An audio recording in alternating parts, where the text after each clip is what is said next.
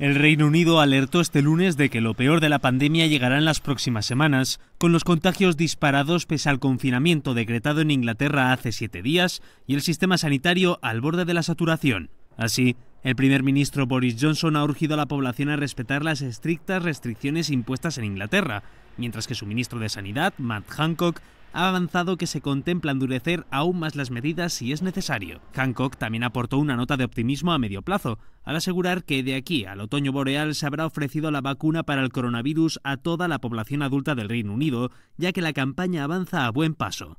So far, across the UK, we've given 2.6 million doses to 2.3 million people. And we've protected more people through vaccinations than all other countries in Europe put together. En torno a 80.000 personas participan en la campaña masiva de vacunación, incluidos personal sanitario, médicos retirados, farmacéuticos, militares y voluntarios. A pesar de que ya se han inoculado 2.600.000 dosis de la vacuna, el consejero médico para Inglaterra, Chris Whitty, avanzó que el virus se va a continuar expandiendo a corto plazo y todavía no se ha alcanzado el pico máximo de la actual oleada.